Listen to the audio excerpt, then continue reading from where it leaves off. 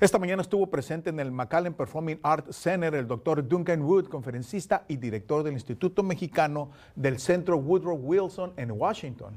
Así es, Arturo, el propósito de su visita aquí en el Valle del Río Grande fue hablar sobre diversos temas a un año del gobierno del presidente Andrés Manuel López Obrador y la cultura y la cuarta, transformación. Nuestro compañero Javier de la Rosa nos tiene este reporte.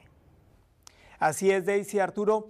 Wood es un especialista de renombre internacional en materia política de México y Estados Unidos y hoy compartió para Somos Noticias su opinión sobre la administración del mandatario mexicano. Esta es la información. Durante el evento organizado por directivos del IBC Bank y otros patrocinadores, Duncan Wood indicó que la tasa de aprobación y popularidad de López Obrador es del 60 o 70%. Esto a pesar de que la administración ha enfrentado una serie de problemas. obviamente ha sido un año bastante complicado um, para, para Andrés Manuel López Obrador. Um, pero también exitoso en cuanto a la aprobación del pueblo mexicano. Los votantes en, eh, en México todavía apoyan mucho al, al presidente.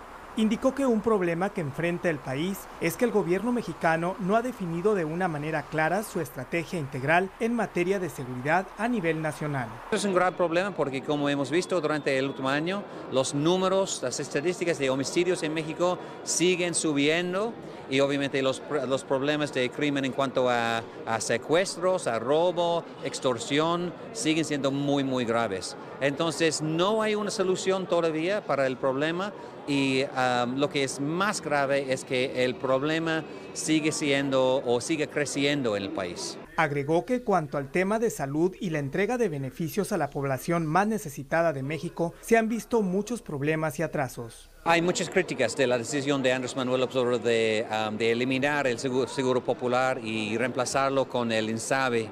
Um, en mi opinión tenemos que esperar a ver si realmente funciona el nuevo sistema hay problemas eh, políticos para el, gobierno, porque el Seguro Popular fue bastante popular para muchas personas y ya eh, les está quitando gran parte de su seguridad social.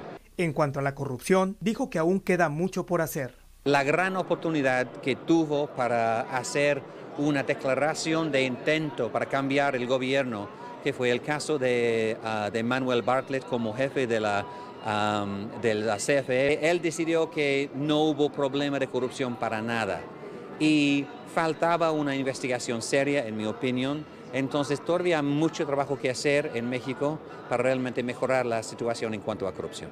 Guda asegura que los próximos años serán muy complicados para el gobierno de México en los temas de seguridad, de corrupción y de la economía. Estos serán un reto no solamente al gobierno, sino también al pueblo mexicano.